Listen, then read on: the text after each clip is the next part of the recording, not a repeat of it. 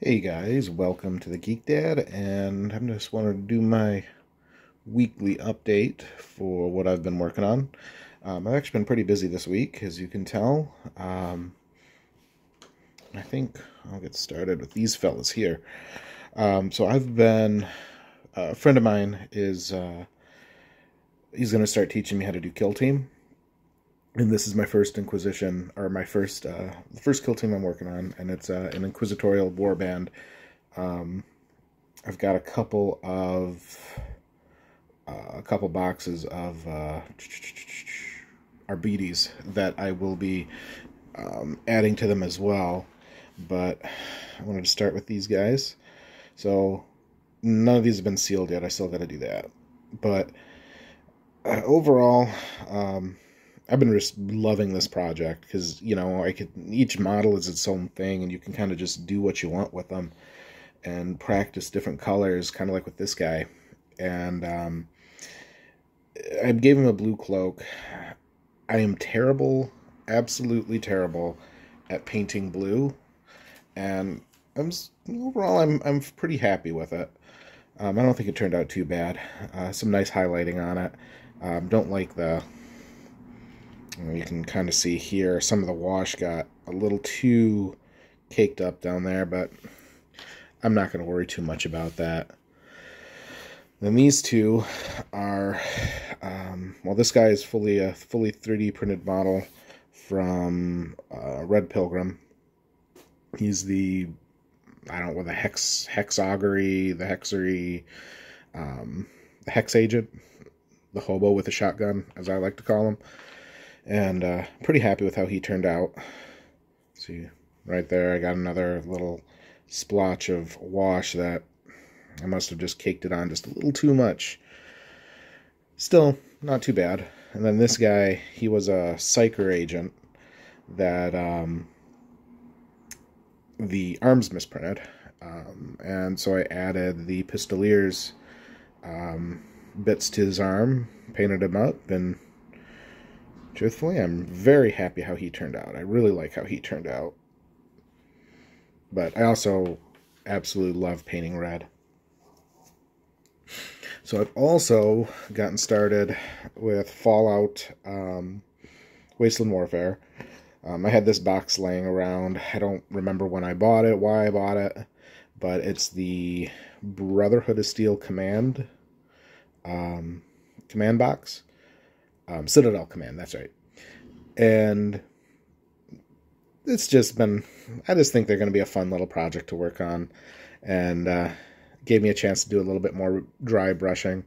I obviously still need to, you know, finish up the base and the face, all that jazz, all the details. But, you know, I forgot how much I just enjoyed doing mindless dry brushing. I think that's, who is it? Uh, Paladin Paladin Cross and Crusader Lyons, I think, are the two. Not really sure. I've heard it can do. Um, it's got really, really good solo play, and uh, it was kind of made with that in mind, and I'm really looking forward to trying that. I've also started working on some more Kingdom Death models uh, with the Lonely Lady. Apologies for the background noise. I'm sitting in my front room right now, and there's a uh, apparently everybody decides to drive by my house while I'm doing this. Um, yeah, this is the lonely lady. Slowly working on her. Um, just reminds me how much I love doing flesh tones. Just absolutely love it. So I'm going to start working on her and probably work on the tree here pretty soon. So then, the big guy. Let's see here. Let's. I'm probably gonna have to shift this up a little bit. There we go. Okay. This guy, I'm really excited to start painting.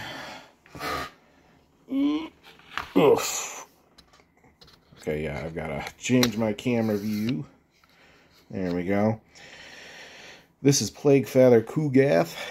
I printed him. He's um, it's I don't I don't know where you can find the file anymore because it was uh, by Emang Emang. I'm not really sure how you pronounce it, and I was able to download most of his models before Um, before GW made him take him off of cults. Um, he was actually a very easy print, with the exception of the chair, because the chair took, jeez, on my Saturn, as it took, I want to say it took 16 hours to print. And I mean, it took up the entire print bed and vertically and horizontally. Um, took a lot of resin too, and that's even with it all hollowed out. But I know the detail on this guy. I just I am so excited to get to get to painting him. I've always wanted to have a, a Chaos Demons army, and I'm really thinking about um, doing that for Horus Heresy. If I, you know, if I actually ever play it, but um, I don't know. It just demons are just cool, dude. And you can do so much, you know, modding to it, and you can really, you know, just have weird stuff. And who doesn't like who who doesn't like a big uh, a jolly fat man, you know, throwing up and throwing things out of his belly. So yeah, other than that, I've just been kind of, you know, just slowly chicken away at certain projects and getting my son, slowly teaching my son how to uh, paint minis, and yeah, it's all going, I'd say, pretty damn great. So, what about you guys? What have you been What have you been working on this week?